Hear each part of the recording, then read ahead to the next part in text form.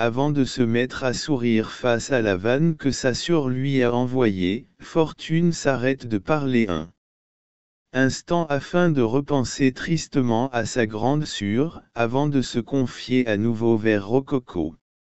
Même si notre neveu aurait pu être devenir comme son père, si au vu des circonstances on peut bien évidemment le nommer il a su se remettre en question contrairement à lui, ce qui prouve une fois de plus qu'une part de notre survie au plus profond de son être. Que tu le veuilles ou non. Papa, c'est comme ça. Bien dit, renchérit Léon, tout en l'applaudissant, se tourne ensuite vers son père, puis se met à froncer les sourcils, avant de l'avertir d'un ton assez rude. Alors papa, réfléchis bien à ton choix. Mais surtout un dernier conseil pour toi, c'est d'accepter celui de éteint. Car même si c'est encore un enfant tu te dois de respecter son choix, si jamais ce dernier décidait de rester dans ce village ou de venir avec nous. Car c'est le sien avant tout, et non le tien. Alors s'y plaît évite de refaire la même erreur que avait fait par le passé avec notre sûre. As-tu bien compris? Papa? Rococo se doutant qu'il a perdu tout contre-argument vis-à-vis de ses enfants, décide alors de les écouter à contre-cure tout en étant étonné de les voir se rebeller contre lui. Cependant le pire reste. À venir quand Léon décide de tous raconter à son frère Témérite resté au royaume, en utilisant ces bois.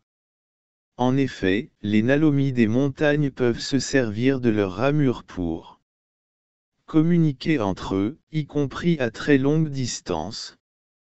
À la seule et unique condition que ces derniers veulent bien se parler bien sûr. Une fois la communication faite avec Témérite, Léon d'un sourire victorieux annonce alors à son pauvre père que même ce dernier est d'accord avec eux, sauf que cela n'est pas tout car même. La femme de Rococo s'est rangée dans leur côte, tout en ajoutant qu'il aurait bien aimé le rencontrer, si cela était possible. Rococo se met à faire de grands yeux en entendant cela, tout en étant surpris de voir que même sa propre femme est contre lui, cependant pour eux, le vieux Nalomi accepte de faire des efforts. Tout en leur avouant qu'ils n'ont peut-être pas tort au sujet de Éteint, finalement. Ce qui satisfait alors ses trois enfants, Rococo par la suite se dirige vers la place où la fête avait eu lieu. Il tombe alors nez à nez sur la Nalomie en train d'aider les autres à ranger tout le bazar qui ont mis pendant la soirée. Rococo tapote son épaule ce qui fait sursauter la reine qui lâche le balai, ce dernier vole et atterrit sur la tête de Hélico qui sonnait bouscule Pou, le pauvre Nalomi tombe tête la première dans un seau son ami gêné de sa bêtise essaie tant bien que mal de le relever, cependant Pou très énervé lui. Mais une gifle. Hélico s'emporte alors à son tour, avant que tous les deux ne se battent pendant que la reine se remet de ses émotions. Rococo en voyant cela se met à faire un regard ébahi, cependant Tulipe le rassure en disant que c'est tout à fait normal, de voir certains habitants se pouiller, comme cela, le vieux Nalomi. Regarde alors bizarrement Pou et Hélico qui continuent encore de se taper dessus. Puis très vite. Rococo se souvient alors de sa demande, il se tourne à nouveau vers la reine, se met à tousser. Avant de s'adresser poliment vers elle. Très chère reine, pouvons-nous rester dans votre village? Nous partirons quand je l'aurai décidé. Si cela ne vous dérange pas. Bien sûr. Non, cela ne me dérange pas. Accepte Tulipe avec joie, avant de se douter de l'intention de ce Dernier? La reine décide alors d'avertir à son tour le vieux Nalomi. Oh, vous n'allez pas vous. Maître, vous aussi, j'ai déjà mes quatre enfants, et y compris ma femme. J'ai pas besoin, non plus. Besoin que vous, vous préoccupez de mes affaires. S'emporte alors le Nalomi des montagnes, avant d'argumenter à nouveau. Vous me croyez sénile juste parce que je possède des rides, en plus d'avoir de l'arthrose. Détrompez-vous. Alors occupez plutôt de votre progéniture, au lieu de la mienne, nom de nom. Tulipe blessé, décide de ne pas répondre aux provocations de ce dernier, au même moment poilu qui tient Touffu dans ses bras arrive vers eux, celui-ci demande à sa bien-aimée, si leurs invités restent à dormir chez eux. La reine d'un air désemparé lui confirme alors, cependant le roi remarquant la tête que fait celle-ci, se met à appeler Sto au loin, le Nalomi arrive vers eux. Sto peux-tu prendre touffu, mais aussi trouver une chambre à nos invités, si cela ne te dérange pas? Bien sûr. Propose alors le roi à son ami qui en remarquant lui aussi la triste mine de la reine. Accepte alors sans broncher, la demande de celui-ci. Tulipe serre alors Poilu dans ses bras tout en lui racontant son intercalation avec le vieux Nalomi, ce qui énerve son mari qui trouve que ce dernier va tout de même trop loin dans ses mots. Le Nalomi s'apprête à aller le voir, mais au dernier moment Tulipe le retient par le bras, tout en lui disant que cela n'en vaut pas la peine, avant d'argumenter à Poilu qu'il perd son temps avec Rococo, et que cela risquerait de mal finir, si son mari décidait de s'emporter avant de lui conclure. Sois patient, s'il te plaît, car je n'ai nullement envie de verser d'autres larmes pour le moment. Poilu accepte alors à contre-cure la demande de sa femme, tout en la prévenant que si jamais Rococo recommence à mal lui parler que cette fois il allait lui dire les fonds de ses pensées. Tulipe en toute réponse l'embrasse, avant de lui demander de reprendre Touffu, tandis qu'elle irait chercher Saune afin de rentrer chez eux. Pour se reposer un peu avant que le jour ne se lève.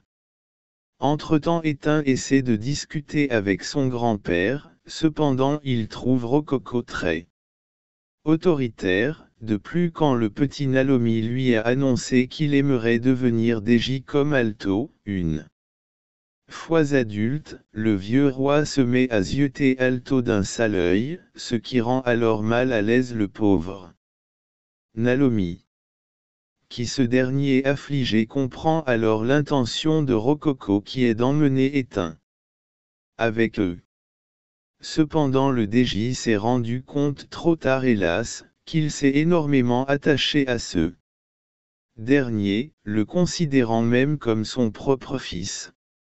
Le vieux roi décide alors de rentrer se coucher dans la maison en fleurs que Tulipe lui prêtait, tandis que ses enfants s'amusent avec d'autres Nalomis du village de la reine, y compris Horizon qui se lâche complètement. As-tu vois quand tu veux frangin? Se moque Léon, en courant tandis que Fortune se met à photographier ses deux frères ainsi que leur nouveau ami, avant de se décider à rejoindre leur père. Pour passer le reste de la nuit, Éteint hésite alors à aller avec eux, cependant il aimerait plus retourner. Chez Alto, en effet, le petit Nalomi se rend compte qu'il tient énormément à ce dernier. Avant de comprendre à son tour qu'il le considère comme son propre père. Même si au final, il ne l'est pas. Fortune le voyant eut alors de la compassion pour lui, elle décide d'aller le voir. Tu peux dormir soit avec nous, ou soit avec ton père. On ne t'en voudra pas. En tout cas que cela soit moi, Léon ou même Horizon on comprendrait, tu sais, si tu veux rester. Ici, tu sais. Car c'est ça la famille, vois-tu, c'est d'accepter les choix que font les nôtres. Même si des fois, cela peut nous paraître incompréhensible, voire égoïste, car tu as sûrement tes propres raisons, je pense. Elle s'arrête avant de se souvenir des moments passés avec Rococo, puis avec s'assure, avant de s'adresser à son neveu, tout en prenant un ton assez doux vis-à-vis de ce dernier. Du coup à toi, de voir, mais parlant quand même à Rococo, de ta décision. Car malgré son sale caractère, il a tout de même un cœur. Sache-le. Elle s'arrête pour fixer ensuite les étoiles, tout en souriant, avant de se tourner à nouveau vers éteint, se met alors à l'avertir, tout en prenant un ton assuré vis-à-vis de ce dernier. Même si cela ne se voit pas au premier abord, je l'admets. Seulement laisse-lui une chance, essaie de l'apprendre au moins juste à le connaître, tout en gardant de bons souvenirs avec lui. Ou un beau jour tu risquerais de le regretter car une vie peut paraître à la fois très courte, mais aussi très longue. Car ce qui compte c'est le moment présent que tu passes avec lui, même si cela ne dure que quelques jours, mais au contraire c'est qui compte, le plus. Vois-tu? As-tu bien compris? Éteint rassuré face aux propos de sa tante la remercie tout en la serrant dans ses bras, avant de se précipiter sans hésitation chez le DJ. Une fois couché, le petit Nalomi réalise alors que ce que cela signifie sa rencontre avec les membres de sa famille maternelle. Ce qui le rend triste, en effet notre petit ami aurait aimé rester au village avec tous ses autres camarades. Et surtout Alto risquerait de lui manquer énormément. De plus éteint se rend compte qu'il a réussi à se faire une place parmi eux, alors que de base, cela partait très mal pour lui, à cause de ses horribles actions menées contre la famille royale. Surtout il a tout de même réussi à devenir ami avec Son alors que cela partait du mauvais pied, au début, d'autant plus que notre petit Nalomi des montagnes est devenu un membre des Best Friends, ce qui n'est pas rien, pour lui. Surtout que même Tassi a réussi à s'entendre avec ce dernier, alors que celui-ci avait tout fait pour l'éloigner de Son à cause des Mauvaise action passée. Cependant même lui a fini par s'entendre avec notre petit camarade, et ce, malgré que leur relation fut au début assez tumultueuse, voire impossible. Comme quoi tout peut arriver, quand on y pense bien au final. Non. Entre-temps chez la famille royale, Saune ne parvient pas lui non plus à trouver le sommeil, car ce dernier se doute que Éteint devra partir avec le reste de sa famille et qu'il le veuille ou non. Ce qui étonne notre petit ami, avant de se rendre compte que celui-ci a réellement réussi à apprécier ce dernier, voire considère Éteint comme un frère. Cela fait légèrement sourire Saune qui pense au Parole de son père mais aussi à celle de Tassi lors de leur dispute qu'il date de plusieurs mois déjà. Je crois bien que Tassi avait finalement raison quand il disait cela. D'autant que mon propre père me l'avait demandé de le considérer comme tel. Ce qui est finalement le cas. Le petit prince se demande ensuite si Éteint le considère aussi comme son frère même si au final cela paraît inconcevable au vu du fait que ce dernier n'est autre que le fils de celui qui a ôté la vie du père de notre héros. Ce qui est au final assez étrange quand on y pense, non. Néanmoins les deux petits Nalomi parviennent malgré tout à trouver le sommeil. S'endormant. Tous les deux. En même temps. Une fois le jour levé, n'ayant pas d'école éteint rejoint le reste de ses amis afin de jouer avec eux. Tandis que Alto d'un air attriste, le regarde au loin. Une fois devant ses compagnons éteints remarque qu'il manque les trois filles, ce qui l'étonne alors, cependant sonne le devant sans lui. Expliquant qu'elles sont encore en train de dormir, au vu de la soirée d'hier. Elles ont bien raison. Fait alors éteint à son ami, tout en agitant ses bras avec affirmation. Au même moment les trois petits Nalomi croisèrent Rococo, ce dernier les yeux froids se met à les fixé, avant de s'adresser à son petit-fils. Tu restes avec tes amis jusqu'à 11h70 minutes grand maximum, ensuite viens me voir, car tu vas recevoir des cours, afin d'en apprendre plus sur notre façon de vivre. As-tu bien compris?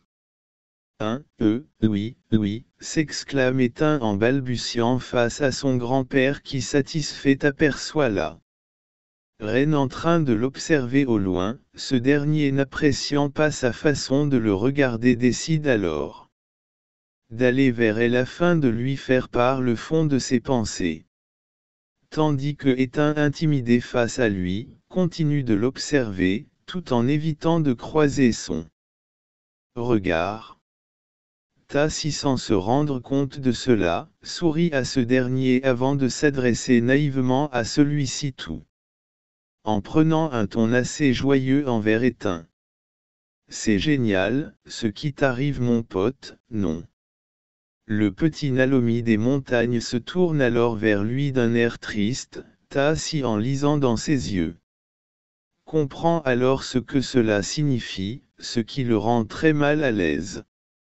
Il se met à s'excuser, tout en lui faisant une tape dans son dos, ce qui manque de le faire tomber à cause de la force de Tassi qui en voyant cela, s'en veut encore plus.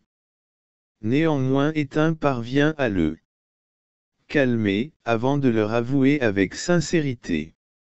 Vous savez que vous allez énormément me manquer, d'autant que je n'ai pas envie de vous quitter. Surtout Crêpe, la pauvre, elle va se sentir très mal. Oui, c'est vrai confirme alors Tassi d'un air chagriné avant d'avoir soudainement une idée.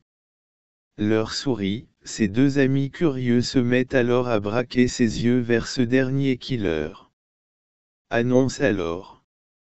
Attendez-moi là, je vais chercher les trois filles afin de leur faire part de la situation mais aussi de mon plan génialissime avant de se souvenir des réactions explosives des deux jumelles.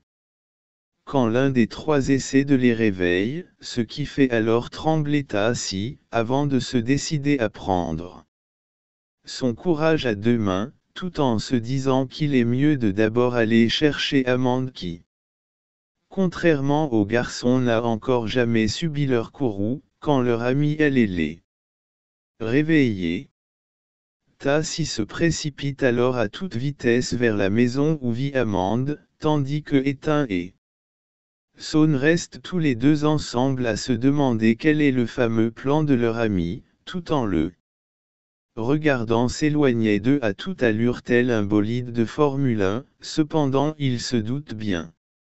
Au fond d'eux que cela est en rapport avec le potentiel départ définitif de Éteint. Le petit Nalomi des montagnes braque ensuite ses yeux vers ceux de Saône, avant de se confier à lui. Tu sais Saône, j'aurais aimé que notre amitié se fasse plus tôt, ou dans d'autres conditions si cela avait été possible de retourner dans le temps afin de pouvoir changer le cours de certaines choses. Car au final, plus je passe de temps avec toi et plus je t'apprécie comme se sentant gêné, Éteint décide de s'arrêter de parler, cependant à sa grande surprise Saune parvient à Lire dans ses yeux, ce qui le rend alors ému, tous deux se décident alors à se serrer dans l'un nez. L'autre dans leurs bras, tels des frères. Se faisant une accolade. Ce qui est très surprenant au vu du fait que l'un est le fils du meurtrier du père de l'autre. Cependant malgré leur passé commun ainsi qu'un début assez difficile tous deux ont réussi à faire ce que leur paternel n'avait jamais réussi à faire, avant Euseki. Et d'accepter de se pardonner l'un envers l'autre, tout en laissant le passé là où il est, tout en avançant ensemble main dans la main, malgré le fait que la vie sera pas toujours rose pour eux. Néanmoins, tous deux sont prêts à relever cela. Pourquoi me demanderez-vous? Car tout simplement nos petits Nalomi représentent la nouvelle génération qui tôt ou tard remplacera celle d'avant qui comme eux ont apporté elles aussi leur lot de changements qu'ils soient bons ou mauvais. En effet beaucoup oublient que le monde d'avant ne sera pas forcément celui de maintenant ou de ni même de demain. Car nous participons tous sans le savoir à l'évolution de celui d'après nous, car c'est ainsi que marche le monde mais aussi la vie, que l'on le veuille ou non. Nous laissons tous sans même le savoir une empreinte indélébile dans celle-ci qui aura des répercussions tôt ou tard, que nous le souhaitons ou non, car c'est ainsi que le monde marche. Une fois l'accolade terminée, les deux petits Nalomi aperçoivent alors assis au loin accompagné des trois filles, une fois devant eux. Crêpe en larmes fait alors un câlin à Éteint puis une bise sur sa joue, les bois de ce dernier devint rose. À la suite de cela, tandis que les joues de ce dernier rougissent légèrement, tout en ébouriffant sa queue ainsi que ses cheveux. Ce qui étonne alors la petite Nalomi en voyant cela, tandis que les autres le regardent bizarrement hormis si qui se met à se moquer gentiment de lui, avant de se ressaisir aussitôt. Bon, comme vous savez Éteint devra nous quitter, sauf que j'ai un plan génialissime.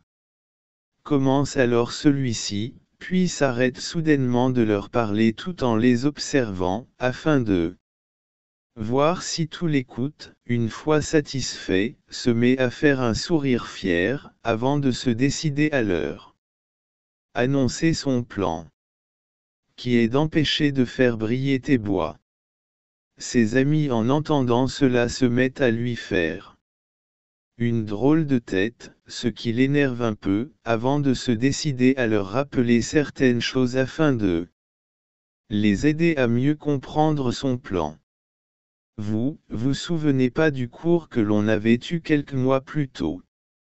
Ou de ce que Rococo avait dit hier? Oh, mais si. Alors sonne tout en se mettant à bondir d'un seul coup, avant de s'adresser énergiquement à Éteint, qui ce dernier le regarde alors d'un air ébahi face à la très surprenant réaction que son ami avait eue quelques secondes plus tôt. Si tes bois ne brillent jamais. Mais que c'est ceux de tes trois oncles ou de ta tante qui s'illuminent à la place. Alors, je ne serai plus dans l'obligation de vouloir les suivre. Termine alors éteint, avec deux grand yeux tout en coupant la parole à son ami. Cependant Amande trouvant sa décision un peu injuste, fronce légèrement les sourcils, avant de lui lancer aussitôt. Tu as tort de ne pas vouloir le suivre, car c'est ton grand-père après tout. De plus au vu de son âge qui te dit que tu pourrais le revoir, un jour. As-tu pensé à cela au moins? En entendant cela un long silence pénible se fait alors ressentir, néanmoins Éteint décide de le briser, afin de pouvoir répondre à son ami, sur les raisons qui le poussent à rester ici que plutôt de vouloir suivre son grand-père. À vrai dire, Amande, j'aimerais le suivre. Sauf que je pense au vu de son regard qu'il a su ce que Tofu avait fait. Mais aussi il a dû savoir mes horribles actions que j'ai menées contre toi. Saune. Cela doit être ma mère qui lui a informé, je pense, suggère ce dernier d'un air peiné tout en coupant la parole de son ami. Au contraire, ta mère a eu raison, car c'était sûrement pour éviter de mettre mon grand-père ainsi que moi dans un sacré embarras, si jamais il l'avait su bien plus tard. Rassure éteint avant de continuer à nouveau son explication aux autres, tout en prenant un ton sûr. Or d'après toi Amande crois-tu que si les autres Nalomi des montagnes savaient cela, qu'ils m'accepteraient parmi eux? Ou qu'ils le feront juste par obligation à cause du fait que je suis son petit-fils Ce qui me rendrait malheureux, je pense à cause du fait que je ne me sentirais pas à ma place, tu vois. La petite Nalomi en entendant cela, pense alors à la mère de celui-ci, avant de comprendre où ce dernier veut en venir. Se sentant un peu bête de ne pas avoir compris plus tôt sur son refus de ne pas vouloir suivre sa famille en allant vivre dans leur village avec eux. Après cela sera dur effectivement, mais cela ne doit pas lui donner non plus le droit de décider à ma place. Après peut-être que je risquerai de le regretter mais pour le moment, je reste sur cette position. Son ami satisfait de ses arguments, décide tout comme sa tante la veille de l'avertir vis-à-vis de son comportement qu'il a vis-à-vis de son grand-père. Seulement éteint ainsi que les autres décident? D'aller quand même au bout de leur idée, Amande comprend alors qu'il est impossible pour elle de le raisonner, néanmoins elle décide d'accepter tout de même de participer à leur plan, afin d'empêcher les bois de son ami de s'illuminer, tout en étant sceptique par rapport au succès de ce dernier, mais aussi du fait si cela est réellement possible d'empêcher que cela arrive. Soudain éteint apercevant que c'est bientôt l'heure où il doit aller voir son grand-père, décide alors volontairement de ne pas s'y rendre, tout en proposant à ses amis de jouer à cache-cache afin que Rococo ne puisse pas le retrouver tout de suite, voire pas du tout. Ses camarades en chur acceptent aussitôt la proposition de ce dernier. Entre-temps Rococo ayant terminé sa discussion avec Tulipe, commence à avoir des doutes sur sa relation avec son petit-fils, tout en comprenant peu à peu qu'il s'apprêtait à faire la même erreur que celui-ci avait commise envers la mère de celui-ci. Rococo ne voyant pas éteint venir, comprend alors que ce dernier lui a posé un lapin, néanmoins le vieux Nalomi décide de le laisser tranquille pour le moment, tout en souhaitant pouvoir avoir une discussion sérieuse avec celui-ci. Soudain Rococo croise Alto, il en profite alors de lui demander si cela est possible de discuter avec le DJ, afin d'en apprendre plus sur la relation que ce dernier a envers son petit-fils. Le DJ tout intimidé par rapport à sa demande accepte avant de prendre une posture plus assurée. Propose alors poliment au vieux roi, si celui-ci aimerait prendre un café chez lui, afin de se sentir plus à l'aise avec notre ami. Rococo touché par sa proposition ainsi que par le savoir-vivre de Alto envers le vieux Nalomise mais à lui sourire avant d'accepter l'invitation de ce dernier, tout en prenant un air amical envers lui. Tout en étant content que ce soit le DJ qui héberge son petit-fils et pas un autre. De plus il est aussi curieux de savoir quelle relation il avait eue avec Délicate, juste avant que cette dernière, hélas ne quitte le monde des vivants. Pendant ce temps, nos petits Nalomi continuent de jouer ensemble quand soudain leur ventre se mirent à gargouiller. Saune leur propose alors de venir manger chez lui, ses amis se mettent à lui. Sourire en guise de réponse à celui-ci. Ensuite nos petits amis en courant arrivent chez la reine et le roi qui sont justement en train de préparer le repas, tandis que le petit frère de Saune est déjà installé sur sa chaise haute. Le bébé en les voyant se met à faire un petit sourire triste comme si que ce dernier sentait que quelque chose allait arriver. Dans un futur proche, avant de se mettre à essayer de parler pour la toute première fois. Ce qui émerveille alors nos amis, en entendant ce dernier, avant de se mettre à discuter de leur plan. Sans se douter que Tulipe et Poilu arrivent au même moment afin de leur servir le repas. Les petits Nalomi en les voyant décident alors de changer aussitôt de conversation, tout en espérant que ces derniers ne les ont pas entendus. Une fois le repas terminé, nos petits Nalomi se s'en vont afin de retourner jouer, tandis que Tulipe et Poilu les regarde au loin d'un air triste.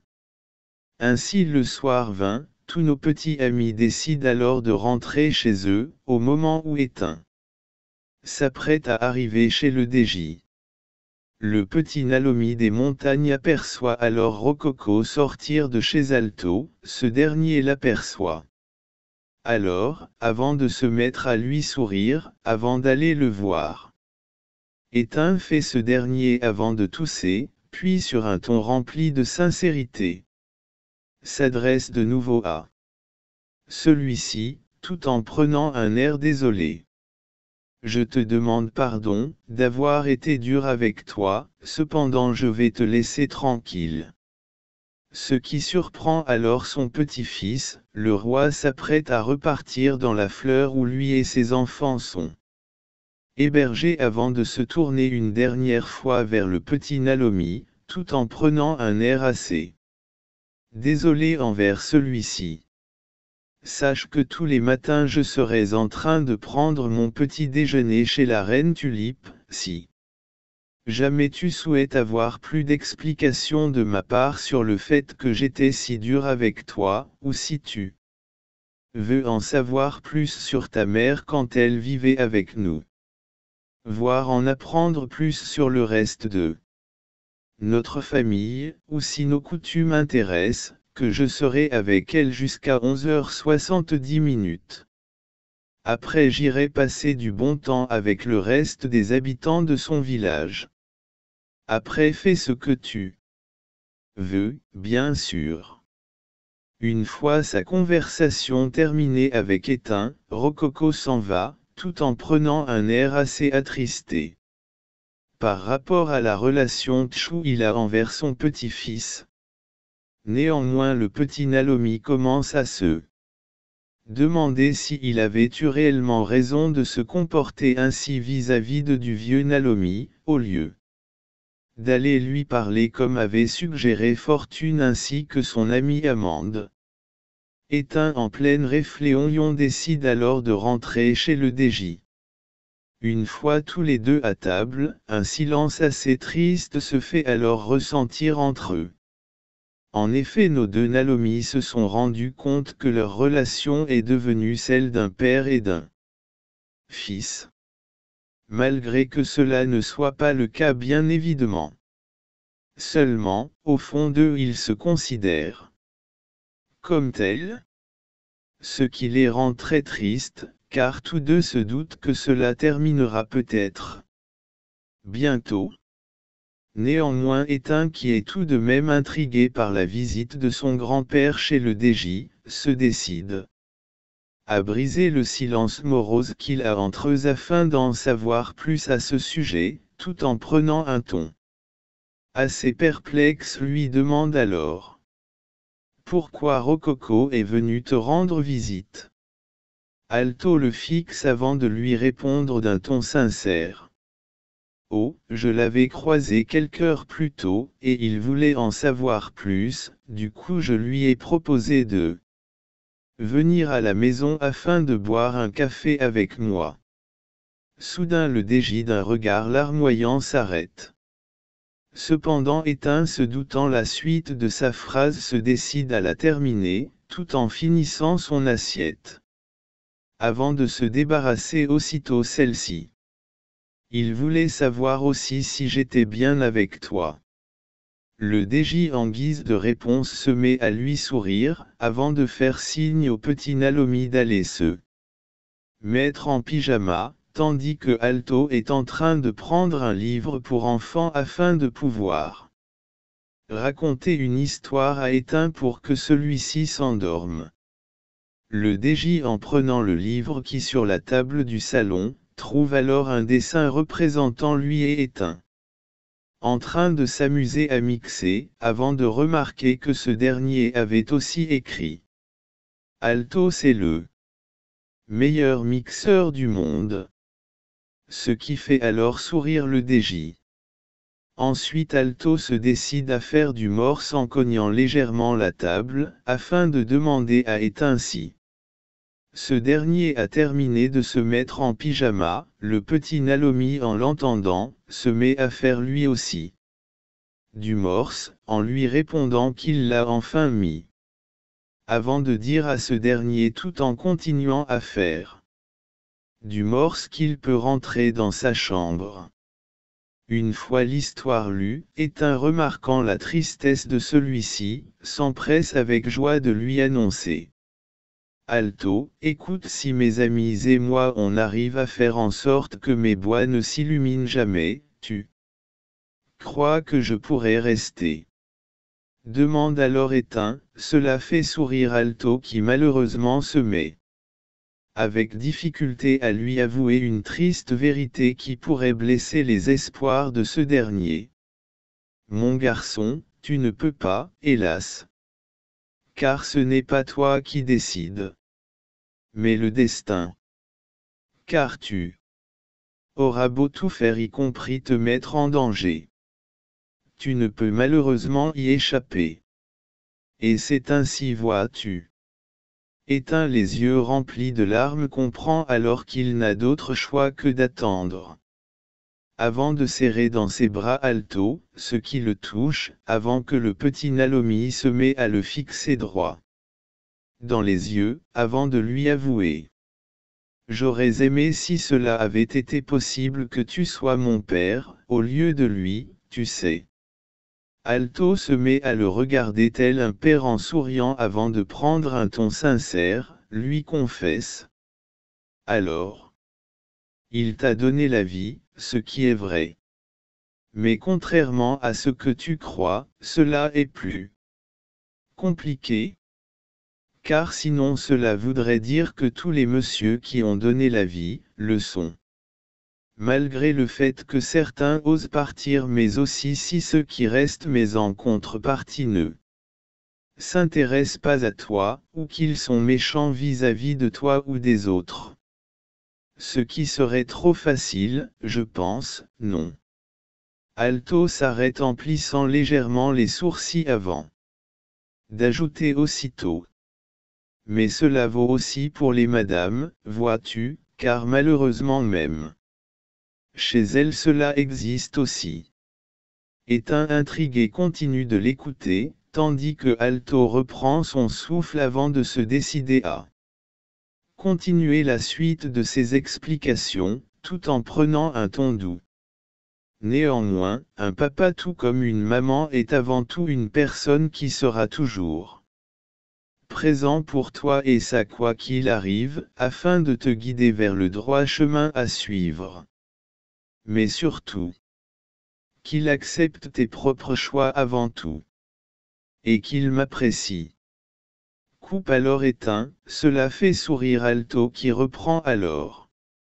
Oui, mais cela doit venir avant tout de toi, et, de personne d'autre, que cela soit moi, ton grand. Père, tes oncles, ta tante, tes amis, personne ne doit décider de ce qui te semble le meilleur pour toi. Du moment que cela ne te met les autres ainsi que toi en danger, car même si tu es encore jeune, cela ne serait pas une bonne chose si je te forçais à être mon fils adoptif. Je comprends. Fait éteint en lui coupant la parole, avant de reprendre. À nouveau sur un ton rempli d'altruisme, du coup, c'est la même chose pour toi, non. Si je t'obligeais, cela ne serait pas bon pour toi. Ce qui pourrait avoir aussi des répercussions sur moi, tôt ou tard, je suppose.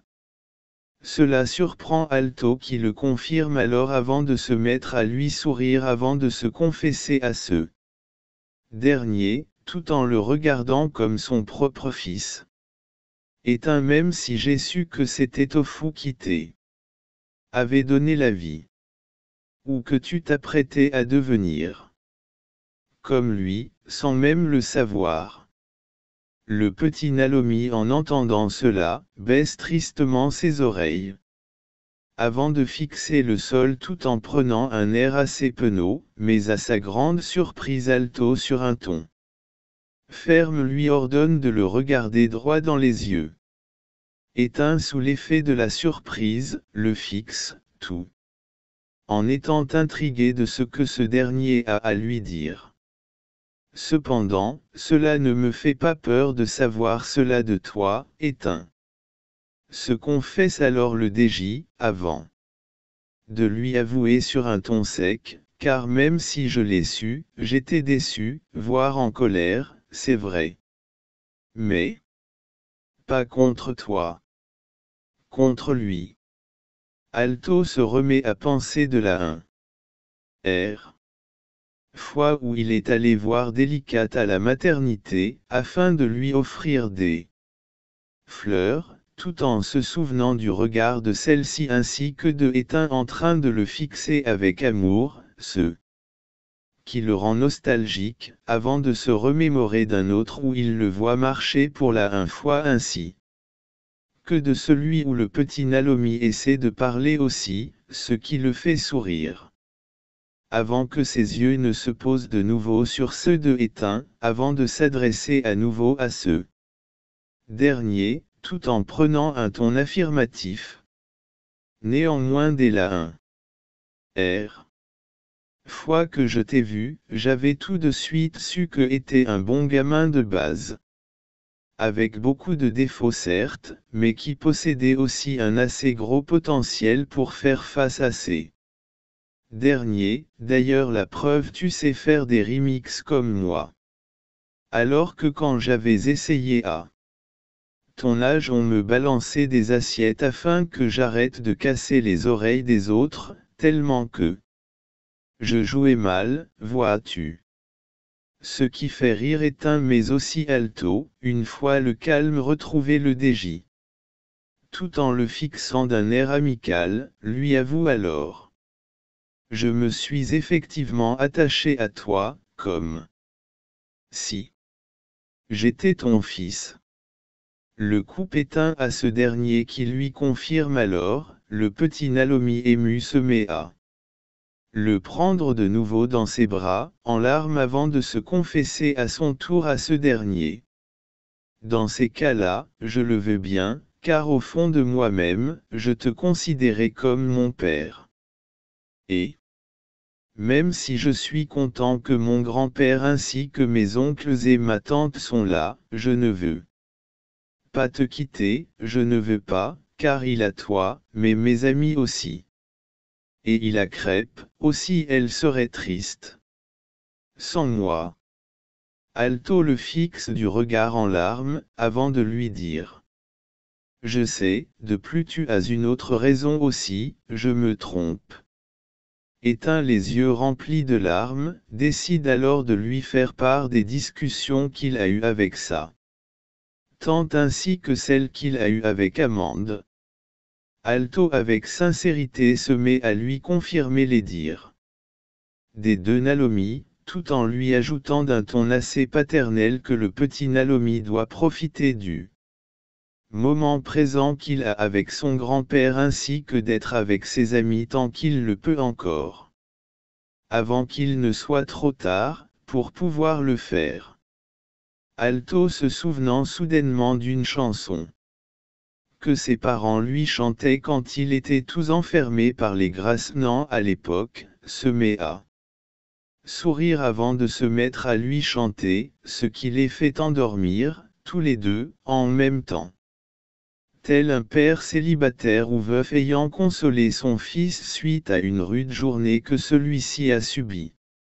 Entre-temps Tulip décide de parler à Saune, tout en prenant un air désolé.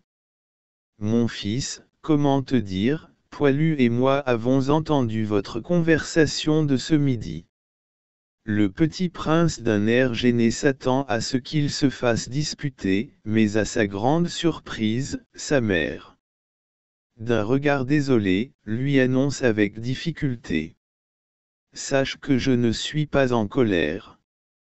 Seulement, que cela soit toi, tes amis ou même un nœud, peuvent faire en sorte d'empêcher que ces bois ne brillent, afin qu'ils restent avec nous.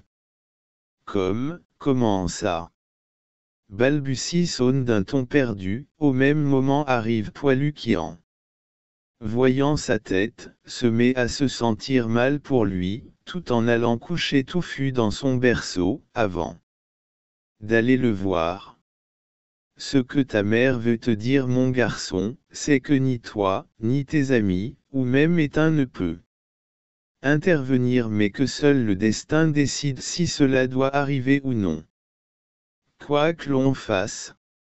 Fesson en se tournant vers Poilu d'un air affligé, puis se retourna.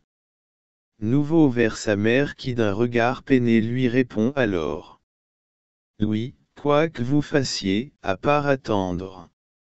Saune se met à prendre un air morose, Poilu décide alors de lui expliquer que le mieux à faire est qu'ils doivent profiter du moment présent ainsi que de leur enfance tant qu'ils le peut encore, avant que ces derniers ne deviennent des adultes qui risqueraient de le regretter d'avoir sauté cette étape importante de leur vie.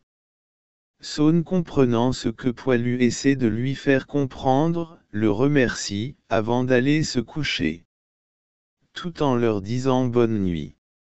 Le lendemain, Étain se décide à d'abord aller voir son grand-père qui comme promis est avec Tulipe. En train de prendre son petit déjeuner avec elle, au même moment arrive Poilu tenant Touffu dans ses bras, ainsi que Saune, qui les cheveux ainsi que la toupette de sa queue en bataille, le salue. Lorsqu'il aperçoit ce dernier, ainsi que Rococo, éteint le salut à son tour avant de se tourner vers le vieux Nalomi afin de s'excuser pour le lapin que ce dernier lui a fait hier, néanmoins Rococo le devance alors.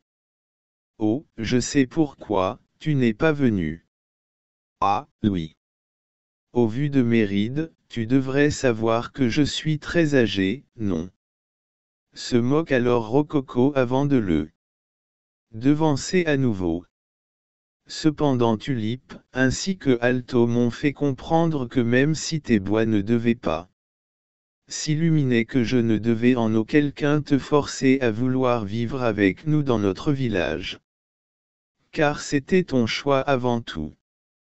De plus tu as sûrement de très bonnes raisons de ne pas vouloir, je me trompe un soulagé de voir que ce dernier ne le prend pas mal, se met à lui expliquer pourquoi celui-ci aimerait rester au village de Tulipe, le vieux roi très à l'écoute accepte alors ses explications, tout en lui disant qu'il accepte son choix, tout en précisant que cela serait peut-être la dernière fois qu'ils se verront à cause du grand âge de celui-ci. Ce qui fait éteint que tu devras être sûr de ta décision car à partir du moment où ce sont les bois d'un de tes oncles voire de ta tante, que je devrais repartir dans le village afin de faire une célébration, mais aussi que d'ici peu, je quitterai ce monde, du coup, j'espère que tu as bien Réfléchis à cela. Le prévient alors Rococo, avant de se remémorer de délicate d'un air triste, puis se tourne à nouveau vers son petit-fils en ajoutant d'un ton sec. Tu as beau être jeune et en bonne santé, de ce fait tu es sûr de tes choix. Néanmoins, un jour tu te remémoras de tes choix passés, tu ressentirais peut-être de plus en plus d'amertume en pensant, au fait que tu aurais choisir cette option plutôt qu'une autre. Rococo se met soudainement à tousser avant de reprendre aussitôt d'un ton plus doux, mais aussi plus amer. Cependant quand tu auras cette sensation-là, tu seras peut-être comme moi ou ta mère, en train de te morfondre sur toi-même, sauf que ce jour-là, il sera trop tard. Pour vouloir revenir en arrière. Du coup réfléchis bien. Un long silence se fait alors ressentir, une fois le petit déjeuner pris, nos deux petits compères décident ensemble d'aller voir leur ami afin de leur faire part de ce que les adultes leur ont dit là. Veille par rapport au bois du petit Nalomi des montagnes. Une fois mis au courant de cela, tout se met à fixer tristement le sol, néanmoins sonne ainsi que éteints parviennent à les convaincre que le mieux à faire pour eux est de profiter d'être encore ensemble, tant qu'ils le peuvent. Tout en ajoutant qu'ils risquent aussi de louper leur enfance, et que les adultes leur avaient prévenu qu'une fois à leur âge, ils risqueraient de le regretter comme eux. Avant d'avoir passé eux aussi à côté, de celle-ci. Ces derniers en leur souriant acceptent alors, tout en comprenant où nos deux amis veulent en venir par. Là, avant que tous ensemble ne mettent à faire des tonnes de jeux différents, afin de profiter des dernières années qu'ils ont à être encore des enfants, avant qu'il ne soit trop tard. Les jours passent et les bois de étain ne s'illuminent toujours pas, cependant Rococo a fini par S'attacher à ce dernier, de plus grâce à ses oncles et à sa tante, le petit Nalomi a appris à se servir de bois comme un vrai Nalomi des montagnes, de plus éteint peut même communiquer avec Témérite. Ou avec sa grand-mère Plume qui sont restés dans leur village. Ensuite le petit Nalomi s'amuse aussitôt à inventer avec ses bois une mélodie très entraînante avant de se mettre à chanter aussitôt. Tous les autres en l'entendant se mettent peu de temps à le rejoindre avant d'organiser quelques minutes après une immense fête que tout le monde a pris part y compris Horizon qui est enfin lui. Même, ce qui fait que Léon ainsi que Fortune ont pu enfin être heureux pour lui, en le voyant. Ainsi. Mais le plus surprenant reste. Rococo, en effet le vieux Nalomi a enfin décidé de se lâcher. Ce qui surprend alors ses trois enfants, qui se réjouissent alors de le voir enfin heureux après le départ de leur suraîné. Comme si que c'était elle qui avait fait en sorte depuis le début que son vieux père puisse enfin de faire la paix avec elle mais aussi et surtout avec lui-même tous en profitant de son petit-fils, même si cela veut dire que cela serait peut-être la dernière fois. Qu'ils se verront, si jamais les bois de ce dernier ne devaient pas s'illuminer pour que ce soit ceux de ses oncles ou de sa tante qui se mettent à faire de la lumière. En effet Rococo a enfin compris ce qui compte le plus pour lui au final, c'est le bonheur de son petit-fils avant toute chose. Même si cela veut dire que cela serait peut-être la dernière fois que tous les deux se verront. Seulement Rococo s'est aperçu que Étain n'est encore qu'à l'aube de sa vie, contrairement au vieux Nalomi qui en est bientôt à sa fin. De plus malgré que le temps peut passer très vite des fois, il peut paraître en réalité très long, si jamais celle-ci est remplie de regrets d'amertume. Ce qui fait qu'il vaut mieux accepter le choix que font nos proches, même si cela veut dire que cela serait la dernière fois qu'ils se verront. Car il vaut mieux des fois passer de merveilleux moments avec eux, même si cela n'est que un ou deux jours, que de vivre ensemble de longues années de chagrin, de colère. En effet même si cela est serait paraître injuste quand on y pense, il vaut mieux avoir de bons souvenirs avec sa famille, même s'ils ne durent que quelques secondes. Car il n'est jamais bon de forcer une personne à rester avec vous, même si elle celle-ci, fait partie de votre famille, en effet vous aurez beau tout faire pour que cela se passe bien entre vous, sauf que un jour ou l'autre vous risquerez de vous briser, tels des morceaux de verre. Sauf que ce jour-là, il sera trop tard. Car comme ces morceaux de verre, vous ne pourrez pas les recoller ensemble, car ils pourraient se casser à nouveau, afin d'en faire des plus petits, jusqu'à ce qu'il ne reste que de minuscules miettes qui serait trop petite pour pouvoir être ressoudée. De ce fait Rococo a enfin accepté la décision de son petit-fils, néanmoins il craint que celui-ci le regrette un jour ou l'autre ce choix quand il aurait atteint un jour ou l'autre son âge. De ce fait, il ne peut que l'avertir, le conseiller mais en auquel cas, le forcer à accepter suivre le chemin que Rococo veuille qu'il emprunte. Car c'est avant toute chose son aventure de vie et non celle du vieux Nalomi qui était sur le point de se terminer, dans le but de laisser la nouvelle génération mettre son empreinte dans ce monde que celui-ci avait franchi avant eux. Tout ne espérant qu'ils ne feront pas les mêmes erreurs que l'ancienne, tout en donnant de leur mieux pour celle d'après. Malgré que comme eux, la génération de éteints feront sûrement de mauvais choix pour leurs propres enfants qui eux aussi leur feront savoir. Et ainsi de suite.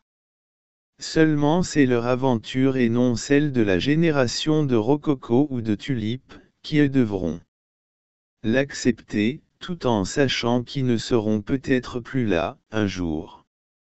Une fois le calme revenu au village, Rococo remercie alors la reine pour les merveilleux moments qu'il a pu passer ici, tout en disant que grâce à eux, il encouragerait peut-être les habitants de son village à aller visiter d'autres peuples de Nalomi, afin de s'ouvrir à eux comme ce dernier ainsi que ses propres enfants ont fait en venant dans le hameau de Tulipe tout en promettant de faire en sorte de rendre le chemin menant vers le sien moins risqué pour les autres peuples afin que eux aussi viennent découvrir le leur ainsi que leurs coutumes.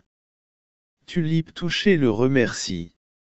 Quand soudain Léon en courant arrive vers eux, en effet ce dernier a reçu une nouvelle de son frère témérite lors d'une communication éloignée. Les autres l'observent alors, tout en le regardant d'un air stupéfait, en effet ce dernier s'apprête à annoncer une heureuse nouvelle que son frère lui annonçait lors de sa communication avec celui-ci. Sauf que au même moment les bois de étain se mettent alors à s'illuminer d'une belle lumière dorée.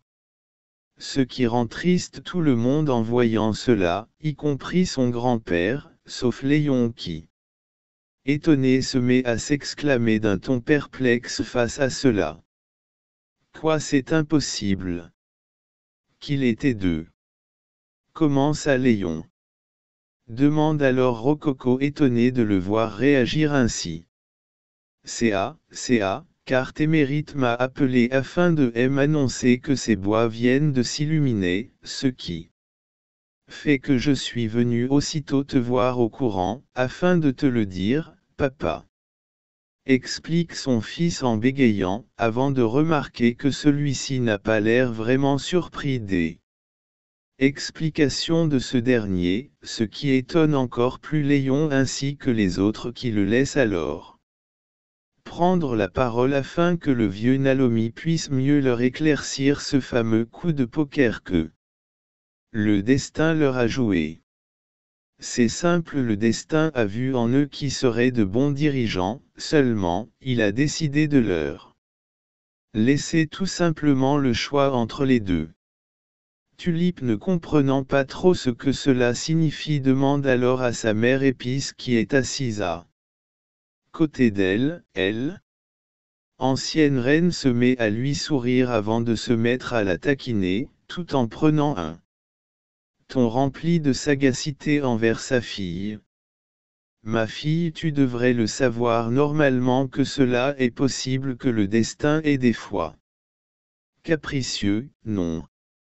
Mais j'accepte tout de même t'éclairer encore une fois de plus là-dessus. Car tu ne peux pas non plus te souvenir de tout ce que j'ai enseigné non plus. Avant de prendre un air grave, avertit ensuite. C'est simple le destin a vu en eux deux bons dirigeants en eux.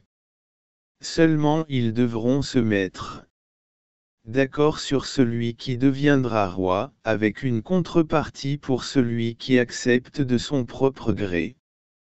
Céder sa place à ce dernier sous risque de subir une fin tragique pour toute la famille royale. Et c'est quoi cette contrepartie?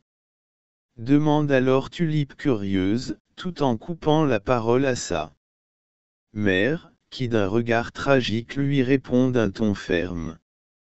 Cette contrepartie pour celui qui a cédé de son propre gré sa place pour la couronne, au profit de l'autre est tout simplement de vivre en exil, loin des siens. Un long silence se fait alors ressentir, soudain Poilu demande alors à Épice. Si je ne me trompe pas Épice, cela ne marche que d'un sens, non. Oui, en effet, celui qui remplace l'ancien souverain peut effectivement aller rendre visite à celui. Si, du moment qu'il est suffisamment éloigné de son village vers une portée de 5 km. Devance alors de nouveau poilu, tout en lui coupant de nouveau. La parole à cette dernière qui se met à lui sourire avant de le confirmer tout en ajoutant sur un ton. Désolé à celui-ci. Oui, c'est tout à fait exact. Ce qui est d'une part injuste quand on y pense, de plus c'est contrainte ne s'arrête qu'une fois que le nouveau souverain donnera naissance à son nain. R. Enfant, ce qui est encore plus bizarre quand on y pense, au final. Et si jamais les deux ne se mettaient pas d'accord en voulant se retirer? Demande alors Tulipe. Curieuse d'en savoir plus, Épice la regarde avec amour avant de fixer ses deux petits-fils en souriant avant de tourner à nouveau vers elle, afin de répondre à sa question, tout en prenant un ton ferme. Ils devront alors se départager face à trois épreuves que le peuple aura votées. Par la suite si l'un des deux remporte au moins deux sur trois, suite à un abandon, une mise hors jeu à cause d'une blessure ou d'une tricherie. Si jamais ce dernier perd à cause d'une tricherie, il risque le bannissement à vie, si je ne me trompe. Fait alors Poilu en coupant de nouveau la parole à Épice qui se demande alors comment ce dernier peut-il savoir autant de choses à sujet alors que même sa propre fille ignore cela, néanmoins. La Nalomie sans dire le fond de ses pensées, lui confirme avant d'ajouter. Effectivement poilu. Tu dois du coup savoir que seul ce cas de figure que le perdant risque le bannissement à vie. Oui, car cela est considéré comme une très haute trahison envers notre peuple, répond Poilu. Avant d'ajouter aussitôt sans remarquer que Épice le fixe d'une drôle de manière. De plus la femme et les enfants de ce dernier sont eux aussi par sa faute bannis, car cela est vu comme une honte, de plus le risque est énormément pour eux, si jamais ils devaient revenir vers les leurs. Suite au dernier mot de Poilu, un silence assez pénible se fait alors ressentir, néanmoins Rococo décide de le briser en s'adressant à Éteint. Mon garçon en sachant tout cela, maintenant es-tu toujours sûr de ton choix de rester ici? Car si tu l'es alors je devrais mettre mes bois contre les tiens afin d'absorber la lumière dorée que c'est derniers émettent, de plus ils posséderont une nouvelle couleur afin que tu te souviennes pour toujours de ta décision. Éteint fixe alors son grand-père puis Alto, ses oncles, sa tante, puis ses amis, avant de se tourner à nouveau vers le vieux Nalomi tout en le fixant d'un air affirmatif, tout en laissant une larme couler. Avant de le serrer dans les bras. Rococo sans réplique, le couvre des yeux tout en laissant une larme brillante couler avant de lui murmurer avec calme. Si c'est que tu veux. Mais sache que l'on ne pourrait plus se revoir après cela car comme tu t'en doutes sûrement, je dois être à tout prix présent afin de faire la cérémonie pour ton oncle, ou les conséquences seront énormes, hélas. Le petit Nalomi en larmes comprend alors que son choix serait irréversible, si jamais il restait avec Alto et ses amis. Seulement il n'a pas envie de participer à des épreuves justes pour battre son oncle, qui en plus d'être bien adulte a aussi de l'expérience pour prétendre au trône de Rococo. Le vieux roi tel un télépathe parvient alors à lire dans ses yeux avant de lui sourire fièrement tout en le rassurant. Je comprends ce que tu ressens, seulement n'accepte pas de venir juste pour me faire plaisir, car si qui compte c'est ton bonheur à toi, avant tout. Je préfère vois-tu que l'on passe pas beaucoup de temps ensemble mais que cela soit de beaux moments, plutôt que tu te sentes mal pendant tout le restant de ta vie. En voulant me suivre par peur de te sentir coupable, en sachant cela. Oui, je comprends car comme quelqu'un m'a dit un jour cela ne serait ni bon pour moi, ni pour toi. Ni pour mes oncles, ma tante et mamie. Réplique alors éteint en braquant ses yeux vers lui, tandis que Rococo ainsi que Alto se mettent à ressentir de la fierté envers le petit Nalomi des montagnes, qui malgré son jeune âge ainsi que son terrible passé, possède une certaine sagesse en lui. Le vieux roi le serre une dernière fois dans ses bras avant de lui lancer une toute dernière faveur à celui-ci, un promets-moi de devenir un bon Nalomi, malgré les difficultés qui te mettront à l'épreuve afin de te mettre en doute, ou qui te pousseront peut-être à mal agir. Seulement pour moi fais-le. Ensuite Rococo fixe Alto, avant de s'adresser à nouveau à son petit-fils, tout en lui souriant d'un air fier. De plus si je me souviens bien tu aimerais devenir Déji comme ton père, non.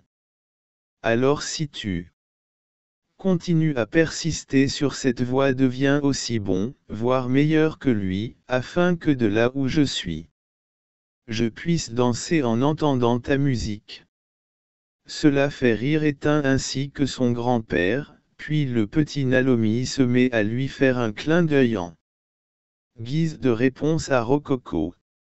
Le vieux Nalomi satisfait de sa réponse, braque ensuite ses yeux sur Alto qui comprenant alors la demande de ce dernier, se met en toute réponse à incliner sa tête.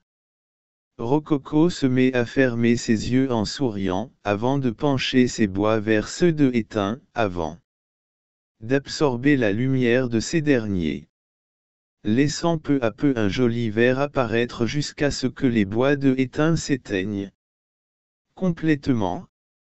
Rococo serre une dernière fois son petit-fils avant de faire signe à ses enfants qui étant pour eux deux retourner dans leur village afin de préparer la cérémonie de témérité pour que ce dernier puisse officiellement devenir le nouveau roi. Éteint décide alors de jouer une jolie mélodie, tout en se mettant à chanter avec ses bois, mais aussi avec sa voix. Rococo ainsi que ses enfants en entendant cela, décident alors de l'accompagner puis le petit Nalomi est rejoint par Alto, Saune, Crêpe ainsi que tout le reste du village. Rococo s'arrête alors de chanter avant d'être suivi par ses enfants qui demandent par communication à distance, de prendre bien soin de lui. Fortune ainsi que Léon et Horizon lui promettent alors qu'il irait le rendre visite de temps en temps, tout en faisant en sorte que Témérite puisse aller. Lui aussi aller voir son neveu. Avant que tout lui dise une dernière fois au revoir. Éteint décide alors de couper la communication en même temps que eux, puis tout se décide d'aller se coucher, mais le lendemain matin Alto de très bonne heure se dirige à toute vitesse vers la maison de la reine. Cependant ce dernier est déjà devancé par son ami qui lui montre alors un papier. Signé de sa main, le DJ en le lisant se met à sourire. Mais au moment où il veut rentrer chez lui, Tulip l'interpelle en disant Attends ce soir pour lui annoncer, si tu vois ce que je veux dire par là. Le DJ en guise de réponse se met à lui faire un clin d'œil. Tandis que son occupe éteint toute la journée jusqu'au soir venu. Le petit prince demande ensuite à son ami de venir sur la place du village où les fêtes ont lieu. Une fois là-bas, Éteint se met à écarquiller des yeux en voyant tout le monde en train d'organiser une immense fête en son honneur. Soudain Alto arrive, tout en lui montrant le papier, le petit Nalomi en le lisant sourit avant de se tourner vers le DJ qui l'interroge alors en souriant. Veux-tu toujours être ton fils et toi mon père? Oh que oui répond avec enthousiasme ce dernier avant de le signer. Aussitôt, puis se met à le serrer dans ses bras une fois cela fait Alto montre à notre petit ami une petite table à mixer à côté de la sienne qui est bien évidemment plus grande que l'autre. Éteint en l'examinant se doute qu'elle est pour lui, ce qui le rend fou de joie avant de remercier. Aussitôt son père, tout en le serrant à nouveau dans ses bras. Une fois l'accolade terminée, Crêpe toute timide en profite pour arriver vers notre ami afin de lui offrir un petit bracelet en forme de cœur que celle-ci a fabriqué tout en marquant sur le bijou, le mot Best Friend to Live. Ce qui émut le petit Nalomi quand soudain son ami se met à lui faire une petite bise sur la joue. Ce qui le fait rougir, tout en rendant ses bois une jolie couleur rose bonbon, tandis que ses cheveux, ainsi que sa queue s'ébouriffent tel un petit chat en colère, tout en devenant rose pétant. Ensuite la petite décide d'offrir le reste de ses bracelets aux autres tout en laissant éteint aux côtés d'eux. Son père qui se met à le taquiner gentiment, avant que tous deux se décident à mixer. Avant de se mettre à chanter en même temps. Les autres Nalomi décident alors de les rejoindre dans leur chant tout en profitant à fond de cette soirée. Jusqu'à ce que le bal commence alors. Tassi d'un air assez timide se met à fixer Gaufre, tout en évitant de la croiser du regard. Tout en hésitant de l'inviter à danser. Mais la petite Nalomi l'ayant remarqué décide de le devancer en allant le voir tout en tendant sa main vers lui. Les yeux du petit Dojuan se mettent à briller, avant que ce dernier ne décide à lui tenir sa main dans la sienne afin de pouvoir danser avec sa dulcinée, tout en lui avouant enfin son cœur que celui s'y porte à la petite Nalomi. Gaufre tel un ange, lui avoue alors à son tour qu'elle est amoureuse depuis le début de notre petit. Nalomi, avant de l'embrasser sur la joue, ce qui le rend aussi rouge qu'une tomate venant de trop mûrir. Entre-temps éteint quant à lui est toujours en train de mixer, tout en essayant de chercher avec ses yeux crêpes afin de l'inviter à danser. Seulement elle n'a plus l'air d'être là, cela inquiète alors. Notre petit camarade qui se demande si cette dernière va bien. Quand soudain. C'est moi que tu cherches. Fait tout à coup une petite voix assez familière en parlant derrière. Notre ami, ce qui le fait sursauter, tout en faisant hérisser sa queue puis ses cheveux avant de tomber. Par terre avant de voir que Crêpe est juste à côté de lui avant de réaliser que c'est elle qui s'est adressée à ce dernier. Ce qui le rend alors bonnet, tout en faisant rougir sa tête comme si qu'il avait reçu un sacré coup de soleil. La petite Nalomi tend sa main dans le but de l'aider à se relever. Tout en trouvant sa réaction surprenante, mais aussi craquante avant de se mettre à le taquiner. Gentiment. Tu es quand même une sacrée nunuche des fois. Puis une fois notre petit camarade levé se met à lui faire une petite bise sur sa joue, ce qui rend à nouveau ses bois d'une jolie couleur rose bonbon, avant que nos deux tourtereaux ne viennent rejoindre la piste de danse. Ainsi tous sont en train de danser avec leur cavalier ou cavalière tout, sauf Amande qui essaie de chercher en vain Saône avant de voir une petite ombre assez éloignée des autres en train de regarder les étoiles. Cette dernière en examinant la petite silhouette le reconnaît alors. La petite Nalomi se dirige alors vers lui, avant de s'asseoir avec son ami tout en regardant les étoiles avec son compagnon. Amande qui connaît le secret de Saône, se met à le fixer avant de lui demander d'un air compatissant. Tu penses attendre une réponse afin de voir s'il est au courant de tout ce qui s'est passé depuis. Saône pose à son tour ses yeux sur elle avant de les rediriger aussitôt dans le ciel étoilé, tout en prenant un ton déçu lui répond alors. Oui, mais hélas toujours rien avant de se lever d'un seul coup, puis se tourne vers son ami, tout en lui proposant sa main pour l'aider à se relever. Une fois son ami debout face à notre petit prince, celui-ci tel un petit ange s'adresse alors poliment vers elle. Chère Amande, veux-tu bien m'accorder cette danse? La petite Nalomi en rougissant accepte, puis tenant sa main dans celle de Saône, se met à avancer à petits pas, vers la piste de danse. Soudain un petit frisson assez doux se met délicatement à les frôler, Amande décide alors de proposer à Saône de la rejoindre au stand de boisson une fois que celui-ci aurait examiné une dernière fois le ciel étoilé, afin de voir si cela n'est pas un signe de népée face à tout ce qui s'est passé peu de temps après qu'il ait rejoint le monde des non-vivants. Une fois seul Saône examine une nouvelle fois le ciel, mais rien. Quand soudain il aperçoit un nuage ayant la forme de son père en train de lui sourire, qui met notre petit prince fou de joie. Mais le plus beau pour notre ami, c'est quand des, lettres en nuages se forment petit à petit à côté de celui de Népé. Une fois celle-ci bien formée, Saune fou de joie comprend que c'est un message de son père qui est lui directement adressé, avant de se mettre à le lire aussitôt à haute voix, afin de savoir ce qu'il pense de tous les derniers événements qui est arrivé à notre ami.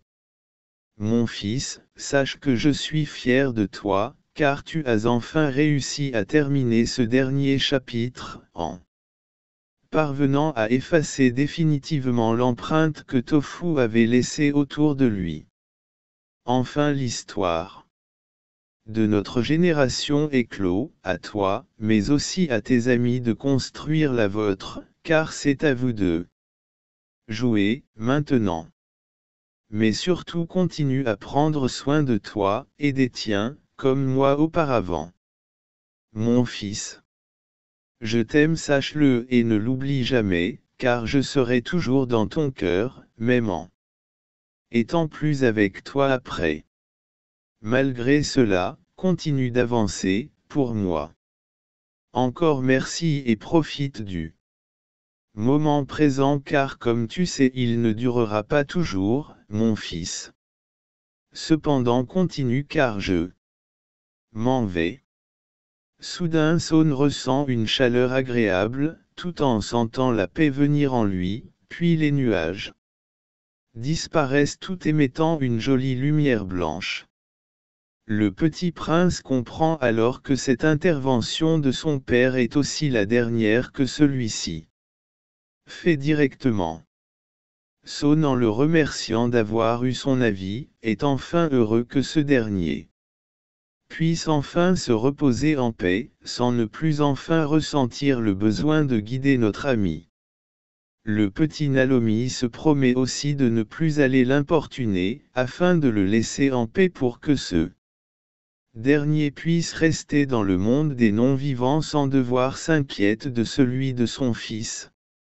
En effet même si c'est très dur, cela serait égoïste de la part de Saune de ne pas vouloir le laisser en paix, car le petit Nalomi serait que cela ne serait pas une bonne chose pour son père ou pour lui. De plus comme Népé avait suggéré dans son message. C'est au tour de Saune maintenant d'écrire sa propre histoire comme lui avait auparavant. Car c'est ainsi qu'est la vie, une histoire. Sans fin, tout simplement. Ensuite Saune se souvenant que Amande l'attend afin de danser avec lui, se précipite vers elle. Une fois face à la petite Nalomi lui tend la main, Amande la prend, avant que tous deux aillent. Enfin sur la piste de danse. Main dans la main, yeux dans les yeux. Les deux petits tourtereaux tout en dansant avouent enfin leur amour qu'ils portent l'un envers l'autre tout en étant rejoint par Tassi avec sa cavalière gaufre. Ensuite éteint et crêpe se tenant main dans la main avec des yeux remplis de cœur à tout va, se mettent pas loin d'eux, tous en dansant à pas de loup. D'ailleurs si on prête attention durant leur danse on peut voir les années défiler, jusqu'à ce qu'ils deviennent adultes, et ayant eux-mêmes des enfants car c'est ainsi que va la vie, tout simplement. Une génération l'une après l'autre remplaçant les anciennes qui autrefois étaient des nouvelles avant. Que celle-ci soit supplantée par une autre qui sera remplacée par une toute nouvelle, car c'est ainsi que va la vie, tout simplement. Et c'est ainsi se conclut l'épopée de nos petits héros, sur cette jolie fin, remplie de paix, de bonheur face au moment présent que ces derniers auront vécu, et qui à tout jamais resteront gravés dans leur cœur quoi qu'il arrive. Et vous, et ce vous, vous en souviendrez de leur épopée. Remplie de douloureuses épreuves voire très inattendues quand on pense aux deux, certes, mais Néanmoins malgré cela ils nous auront appris que malgré leur jeune âge il est tout à fait possible de se relever tout en profitant de notre enfance, tout en grandissant petit à petit. Mais aussi en travers des personnages tels que Éteint, Rococo ou Saune qu'il est tout à fait possible de faire la paix avec le passé, malgré des moments difficiles avec celui-ci. De plus quoi de plus beau que de terminer sur une note légère après tant de tempêtes traversées par nos héros. En tout cas il est temps pour nous de les laisser tranquilles, tout en passant aux chansons, avant de passer à d'autres histoires qui attendent qu'une chose c'est d'être écoutée. Chanson numéro 1 Tu as changé. Ta si. Je me sens seul, désespère, face à tant de changements, c'est vrai, je m'en doutais que rien ne serait plus pareil depuis notre dernière aventure ensemble, cependant je ne m'attendais pas à cela. Je me sens blessé par toi, même si au fond que je sais que tu y pour rien. Seulement, malgré toi, tu as bien changé, je ne te reconnais plus, tu n'es plus le même alors que on était les bestes. Friends, est-ce que cela signifie toujours quelque chose pour toi, ce surnom que l'on s'est donné lors de notre première rencontre? Ou bien as-tu oublié grâce à ton nouvel ami, qui m'a remplacé dans ton cœur?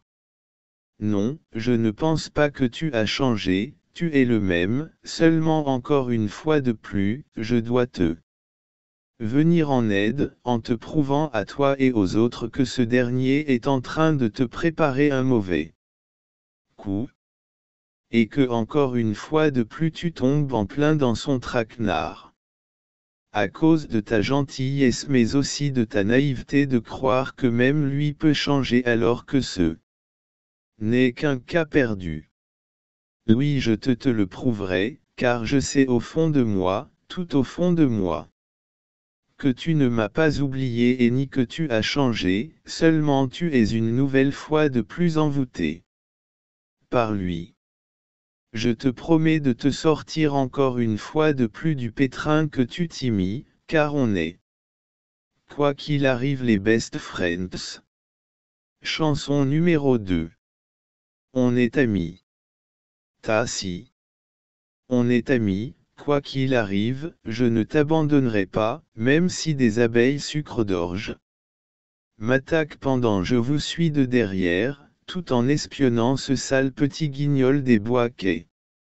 Éteint afin d'attendre qu'il fasse un faux pas afin de vous prouver encore une fois de plus qu'il prépare encore un mauvais coup contre nous tous même si je dois me prendre une branche pleine figure que tu tenais à l'instant avant de lâcher. Pensant sûrement que tout le monde est passé. Sauf que moi, non. Mais pas grave, je ne t'abandonnerai pas, car on est amis quoi qu'il arrive. Si cela veut dire être mouillé par la pluie, je le ferai quand même, ne pas dormir afin de l'espionner. Aussi car on est amis, même si cela veut dire pour moi avoir des cernes aussi noires que un lion. Laveur. Je le ferai car tu es mon ami, et que je ferai n'importe quoi, pour ne pas te perdre, car tu es mon ami et quoi qu'il arrive ou qu'il en coûte, car tu es mon ami. Saune et éteint, amande, gaufre et crêpe. On est devenus amis, alors que quelque temps avant rien ne le promettait. Amande. On peut enfin tout profiter et s'amuser ensemble car. Crêpe et gaufre. On est amis et que rien ne nous séparera, pas même les tempêtes. Éteint. Ou les épreuves quelconques de la vie car on est. Amande et saune. Amis et on le restera pour toujours, même si tout ne sera pas rose dans notre vie. Gaufre. Néanmoins on restera amis quoi qu'il arrive car cela sert à cela les épreuves. Crêpe et éteint. Elles servent à souder plus en plus nos liens afin de rendre notre amitié de plus en plus forte. Saune. Car quoi qu'il arrive on restera amis, même quand on sera comme nos grands-parents.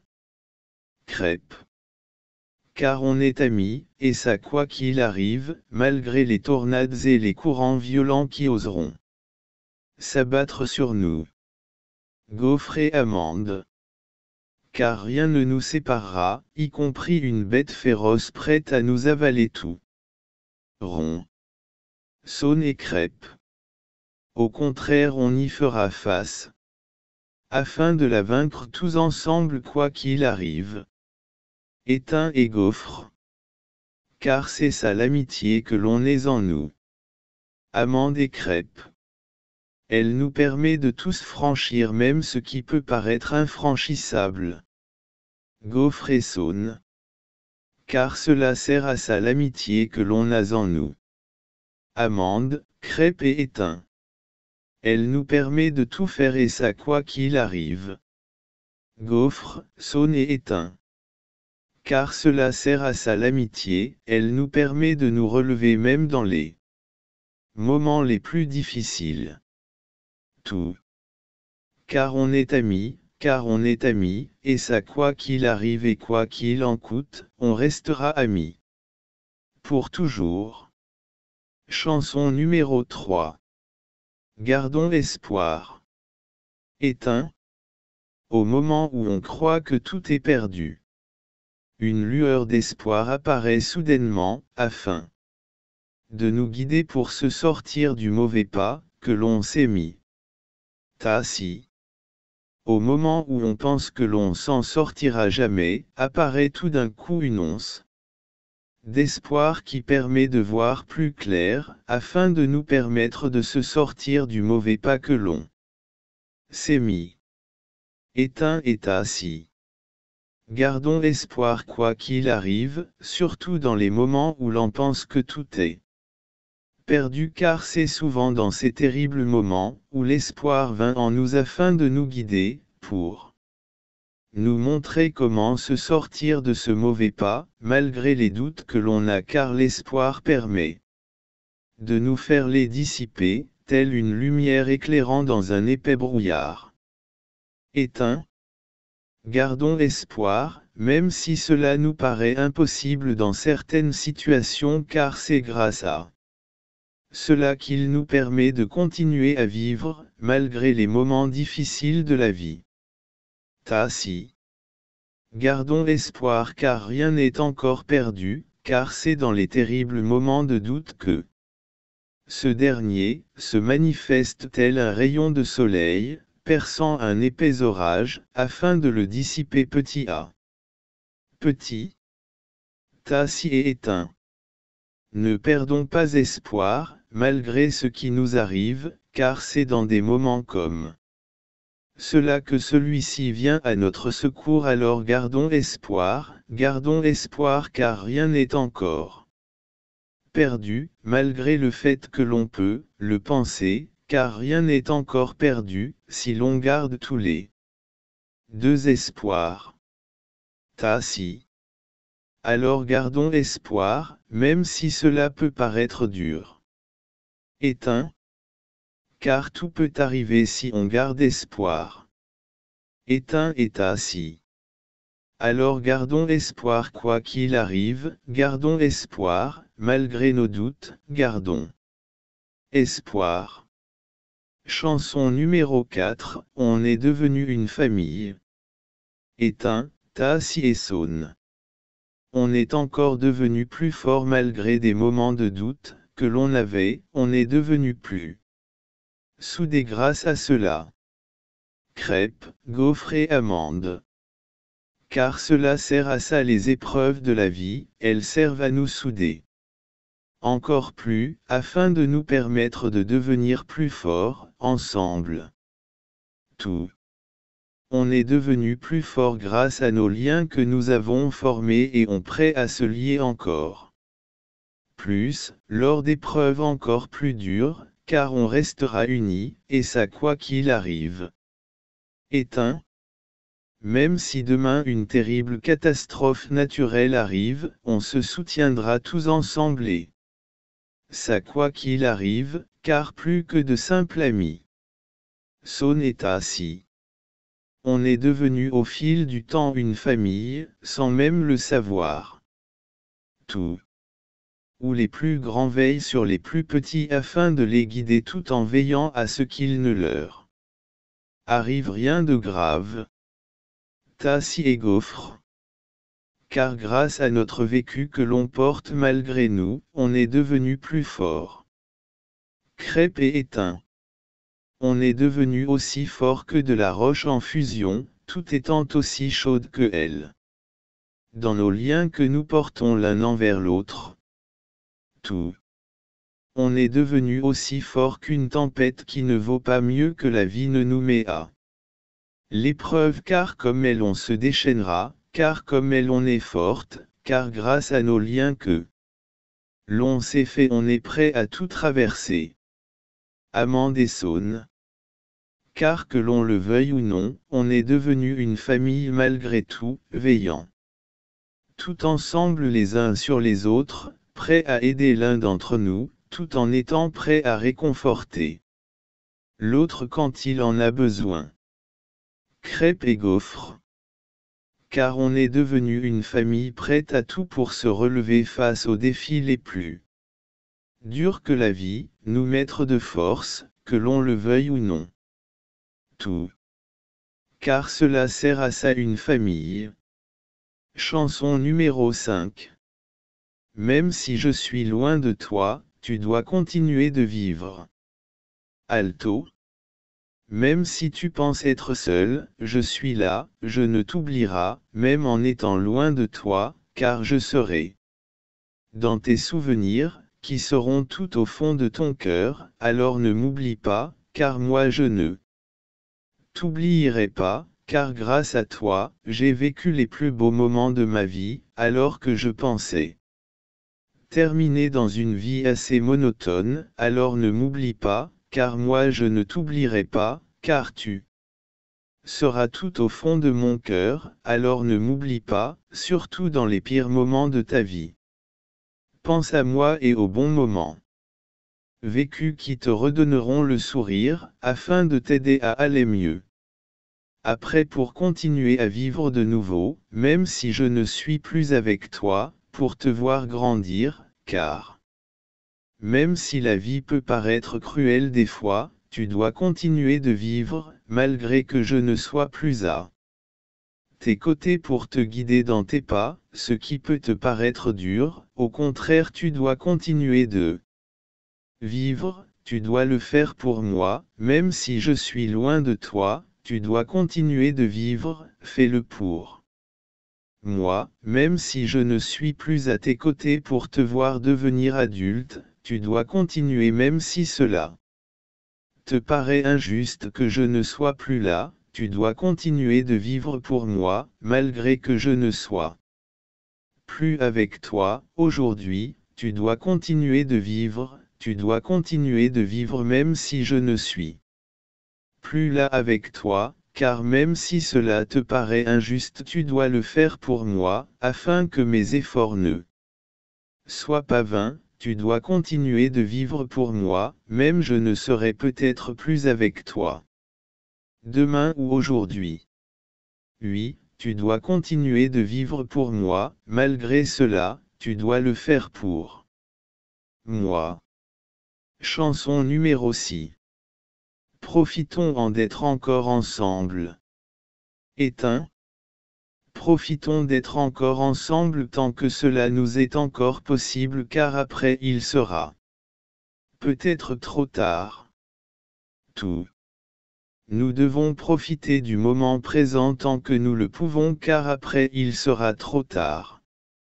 Pour revenir en arrière afin de vouloir en profiter. Rococo Profitons des bons moments que l'on passe car ils resteront à tout jamais gravés dans nos cœurs. Horizon. Oui, amusons-nous tous ensemble, lâchons-nous, arrêtons d'être trop fermés sur nous. Même et lâchons-nous ou on risquerait de louper un sacré morceau de notre vie, si jamais on est trop snob. Lâchons-nous, tant que l'on peut avant qu'il ne soit trop tard, en profitant des moments présents de la vie, alors lâchons-nous. Léon. Profitons de ce que la vie nous réservait en ce moment, avant que un beau jour, nous le regrettions, profitons tout d'être ensemble tant qu'il est possible, avant qu'il ne soit trop tard. Tout. Profitons d'être encore tous ensemble tant que cela est possible, profitons tous ensemble des oiseaux en train de chanter afin de savourer ensemble le moment présent qui restera à tout jamais. Dans nos souvenirs, profitons du moment présent à passer de bons moments ensemble afin d'avoir de bons souvenirs plus tard. Fortune. Profitons de notre famille ainsi que de nos amis, tant que l'on le peut encore, car cela permettra de rester unis quoi qu'il arrive, tout en gardant de bons souvenirs avec eux, car cela sert à ça. De vivre le moment présent, avec eux. Tout. Profitons d'être encore ensemble tant que nous le pouvons encore car on ne sait pas de quoi. Demain sera fait, alors profitons du moment présent, tant que l'on peut, afin d'avoir de bons souvenirs. En nous. Profitons ensemble du moment présent, tant que l'on peut, encore, profitons. Éteint, sonne est assis. Nous devons profiter de notre enfance que l'on passe tous ensemble, afin d'avoir de bons souvenirs une fois adultes que l'on pourra raconter aux plus jeunes comme nos propres parents avant nous qui comme nous ont été eux aussi des enfants avant nous. Crêpes, amandes et gaufres. Oui nous devons profiter de cela, tant qu'il est encore possible, nous devons profiter d'être encore tous ensemble avant que tout se termine peut-être au lieu de casser la tête à trouver une solution face à un truc qui nous échappe. Éteint et saune. Nous devons profiter d'être encore ensemble. Crêpes et gaufres. Tant que cela est possible, encore. Tassi et éteint. Avant que l'on devienne adulte à notre tour. Amande et gaufres. Au risque de le regretter d'avoir sauté cette étape-là. Tassi et saune. Qui est l'enfance, est l'un des moments les plus importants crêpes et amandes de notre vie, alors profitons en d'être encore des enfants. Tout. Les enfants se mettent à chanter en chœur, avant de devenir un beau jour des adultes, profitons. En d'être encore ensemble, tant que l'on peut encore, profitons en d'être encore ensemble tant que l'on peut encore. Chanson numéro 7. Je te souhaite éteint. Je te souhaite un bon retour, tout en sachant que je ne te verrai plus, néanmoins malgré les premiers doutes que j'avais eus en te voyant se sont dissipés lorsque j'ai appris à mieux te Je te souhaite un bon retour même si quand je les reverrai, tu ne seras pas avec eux lors du prochain voyage, c'est ainsi, mais même si cela sera dur au début de ne plus te voir, je sais que au fond de moi, que tu vivras encore grâce aux bons moments que l'on aura vécu ensemble, même si cela n'a duré que quelques instants. Car il vaut mieux passer des moments courts, tout étant heureux qu'une longue vie triste et morose.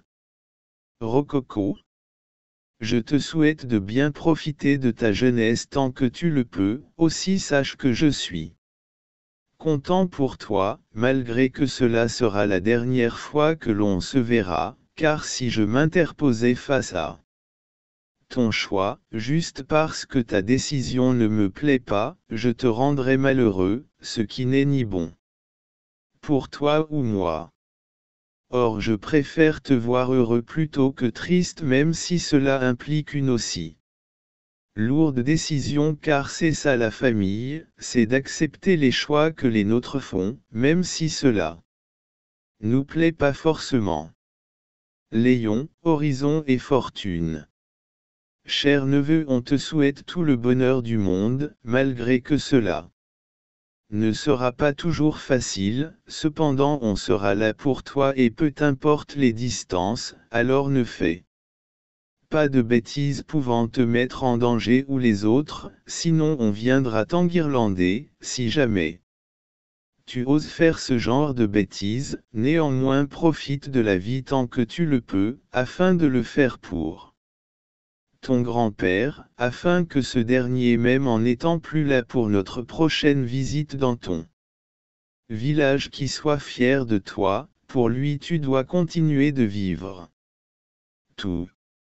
Car malgré les distances qui nous séparent, on restera unis quoi qu'il arrive, tout en se souhaitant les uns aux autres le meilleur de notre vie, malgré cela, car cela sert à ça une famille c'est de se souhaiter le meilleur quoi qu'il arrive, et peu importe nos choix, du moment que nous ne mettons pas les autres ainsi que nous en danger, car cela sert à ça une famille c'est de se souhaiter le meilleur et non le pire, car c'est ça une famille soudée et unie. Rococo et éteint. Je te souhaite un bon retour, même si cela veut dire ne plus se revoir après car je préfère vivre de courts instants avec toi, mais qui soient agréables pour les deux, que de vivre ensemble. Pendant de longs mois, et te voir mal, car cela ne serait ni bon pour moi et pour toi, car cela se terminera très mal à un moment donné, alors même si cela serait dur au début, je te souhaite tout le bonheur du monde, même si nos chemins ne se creuseront plus à l'avenir. Néanmoins je te souhaite de profiter des bons moments tout en se souvenant des bons souvenirs que tu as eus avec moi. Même si cela n'a duré que quelques instants. Tout. Alors nous te souhaitons une longue vie heureuse même si cela ne sera pas tous les jours. Rose, néanmoins nous te le souhaitons quand même d'avoir une longue vie, heureuse malgré tout. Car cela sert à ça la famille, c'est de toujours se souhaiter le meilleur quoi qu'il arrive et peu importe. Les décisions que les nôtres prennent, car cela sert à ça une famille, c'est de se souhaiter le meilleur. Quoi qu'il arrive. Chanson numéro 8. Unis malgré tout éteint et alto.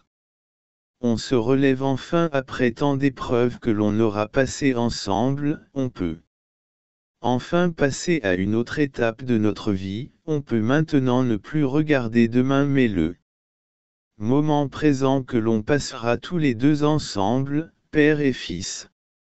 Tout.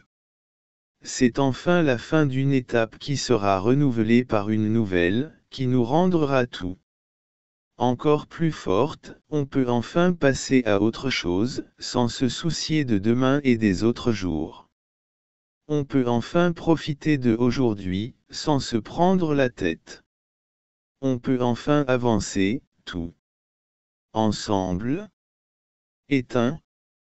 Même si on ne choisit pas d'où l'on vient, on peut toujours choisir avec qui on passera demain, ainsi que de choisir qui l'on veut être, sans se soucier de ce qui s'est passé hier, car on peut tout de même avancer même si cela nous paraît impossible au premier abord, une fois le premier pas fait, un second puis un autre et encore un autre ainsi de suite. Tout.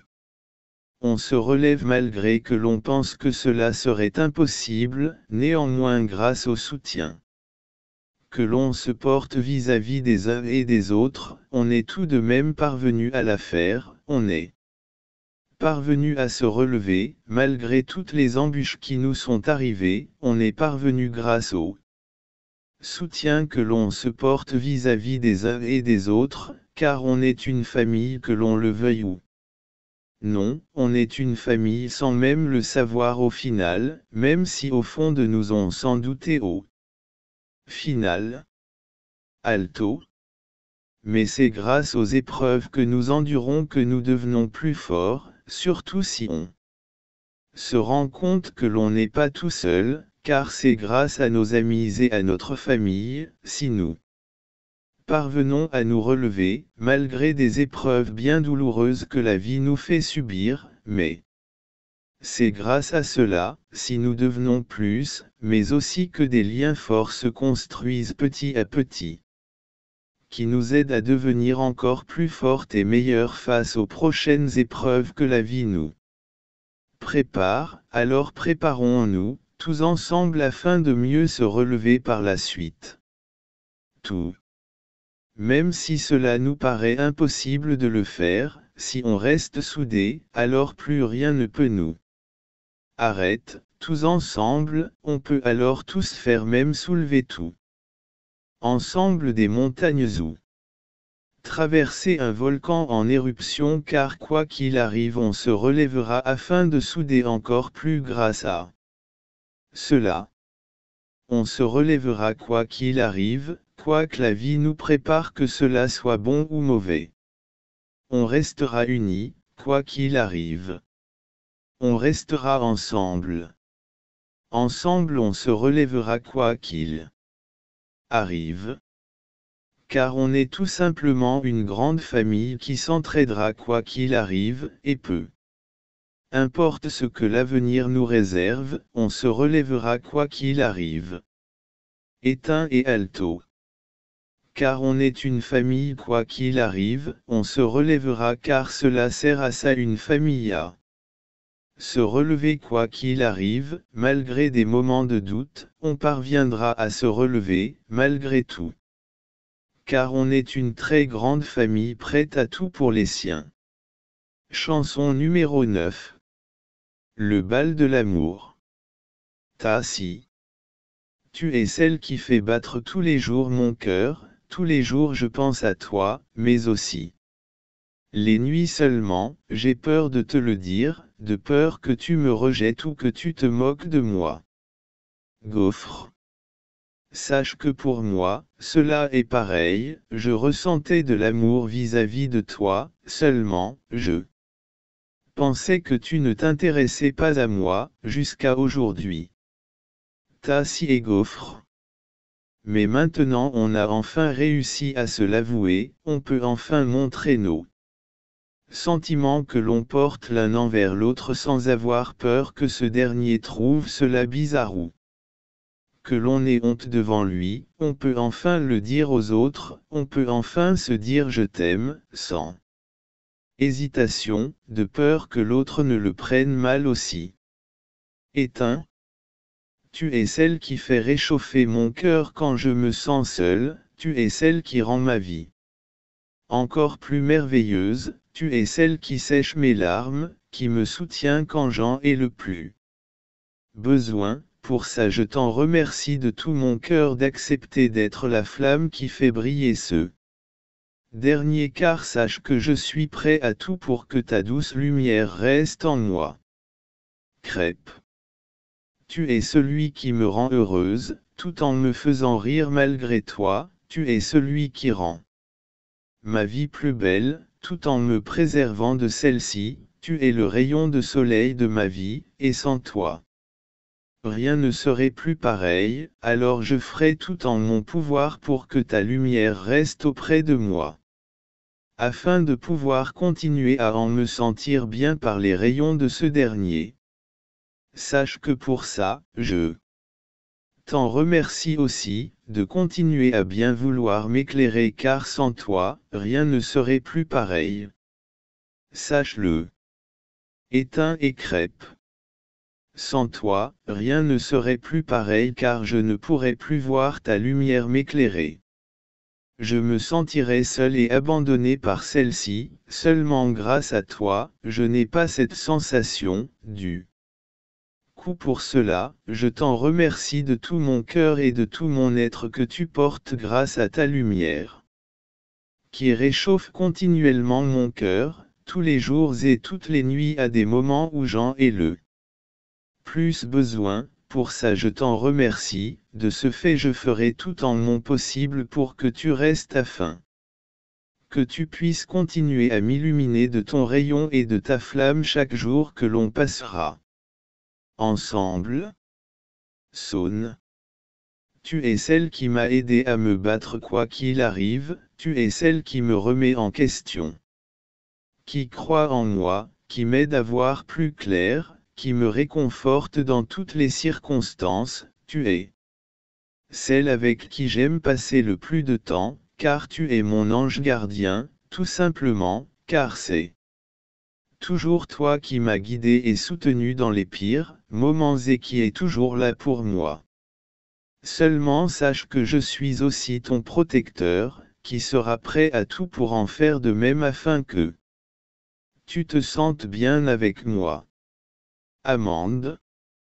tu es celui qui m'avais aussi soutenu dans les pires moments de ma vie, tu es celui qui m'a aidé à me relever, tu es celui qui m'a permis de voir le meilleur en moi, qui m'a redonné confiance en moi, qui me laisse se reposer sur son épaule quand j'en ai le plus besoin, tu es mon ange gardien, mais sache que serai là aussi pour toi, si jamais tes ailes faites de plumes se fatiguent de trop, afin de te reposer, tout en ressourçant pour pouvoir ensuite voler de nouveau tes ailes, avec des plumes encore plus resplendissantes que autrefois, afin que tu puisses aussi continuer à rester bien auprès de moi, afin que tu veuilles bien continuer à te reposer auprès de moi, quand tu en ressens le besoin de le faire.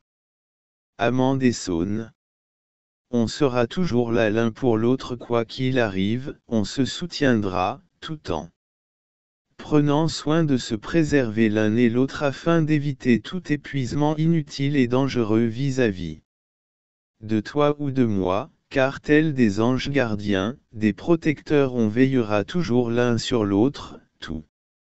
Et dans notre moitié à pouvoir reprendre des forces après, afin qu'ils puissent à nouveau voler des ailes. Ayant de belles plumes brillantes, engage des bons soins que je t'aurais apportés afin que tu puisses voler à nouveau au-dessus des nuages comme eux.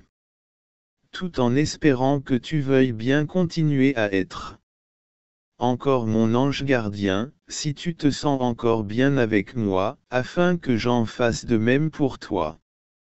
En faisant en sorte que tu sois bien aussi afin que tu veuilles continuer ta vie avec moi, bien sûr. Tout. Car malgré que les années défileront sous nos yeux pendant notre danse, je ferai en sorte pour que veuille encore de moi, et que quand une fois adultes nous puissions encore danser comme au premier jour, tandis que nos enfants en font à leur tour de même, afin que eux aussi puissent une fois bien adultes danser comme nous, se remémorer du moment magique en dansant avec leur idylle. Comme nous avons, ainsi que nos propres parents avant nous, car c'est ainsi que le monde marché qui continuera de marcher, en faisant une danse sans fin, où chaque génération danse avec lui, sur la piste de danse, car c'est ainsi que va la vie tout simplement, qui n'est rien d'autre qu'une piste de danse sans fin et éternelle.